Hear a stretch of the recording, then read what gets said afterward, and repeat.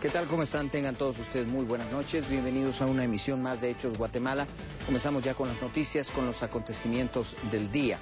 La bancada oficial asegura que la iniciativa de emisión de bonos del Tesoro será conocida la próxima semana debido a que no se tienen los votos necesarios para su aprobación.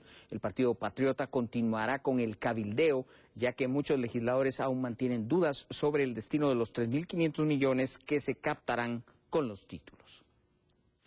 El tema de los bonos creo que es un tema que va a llevar todavía una semana más de discusión. Eh, aún no han llegado al Congreso, se están haciendo algunos acercamientos extraoficiales con las demás bancadas y tenemos eh, confianza en que podemos llegar a los 105 votos para poderlos conocer en el Pleno.